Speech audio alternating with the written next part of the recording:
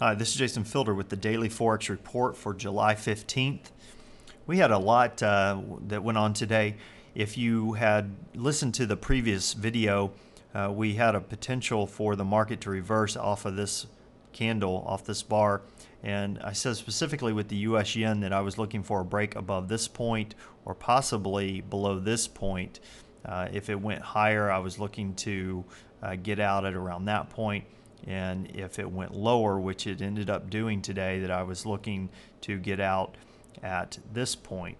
So if you would have taken this trade, you would have profited around 67 pips uh, for the day. And of course, that was nowhere near the low. But let's get that off the screen. Our uh, our range that we're looking for for this next session is between 106.57 and on the low side between 103.79. So this pair is, is moving down and we are definitely looking for it to continue down. Uh, looking for support to come into the market at uh, around, I'm going to have to zoom out to get this.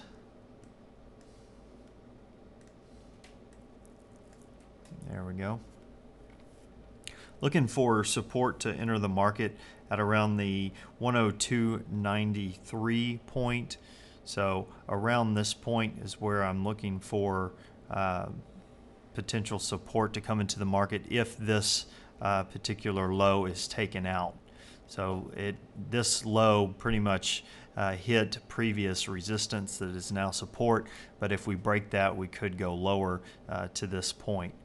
And as far as to the upside, if the market continues uh, or, or turns around and goes higher looking for resistance to come into the market between, around 105.87. So let's take a look at the Euro USD. Zoom in. Looking at this pair, we're looking for a high potentially of 1.6077 and on the low side 1.5829. Now I'm looking for uh, potential for support to come into the market at the uh, around the 1.5780 point. Uh, looking for resistance at the 1 6000 area. Uh, and we saw it move up higher today, made a new high for this pair, and then pulled back. Uh, I anticipate this pair actually to move lower after this, uh, after today. If so, you know, if, if this low is taken out at that point, looking look to to exit somewhere uh, between these two points. So taking a look at the taking a look at at the British pound US dollar pair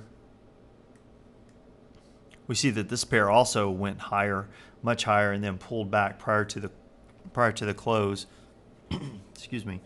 And we're looking for the market to be or the, the range to be between 2.0197 on the on the very high side and on the low side 1.9885 looking for support to come into the market at about the uh, the 1.9950 area and on the high side looking for uh, resistance to come into the market at 2.0087.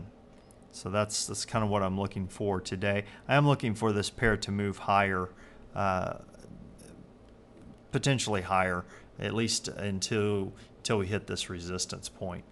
Now looking at the U.S. Swiss, uh, this pair broke a previous low today, and I anticipate this pair to continue going lower.